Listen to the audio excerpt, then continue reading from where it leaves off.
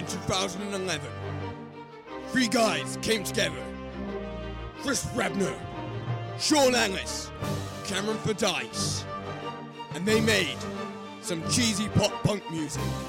I'd say cheesy because I'm not really into pop punk myself, but I'm more into death metal. Oh, okay, okay. They made some good pop punk music. But wow, whoa, whoa, pass me one of those sausage rolls. Anyway, with the new singer Ross Jenkins, we're now more powerful than ever. So, introduce these boys who love to party!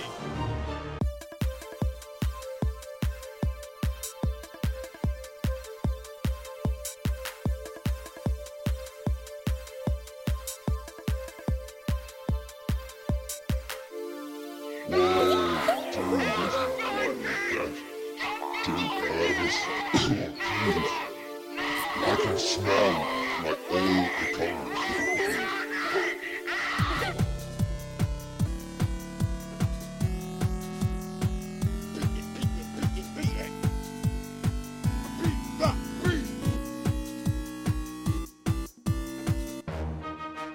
Now, may I introduce the guys at the Hot Dog!